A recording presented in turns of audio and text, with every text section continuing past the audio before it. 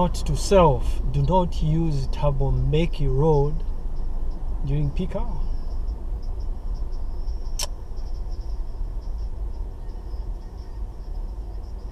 So I almost always drive in the opposite direction around this time when I pass through this road, and this is the first time uh, I'm driving through this stretch.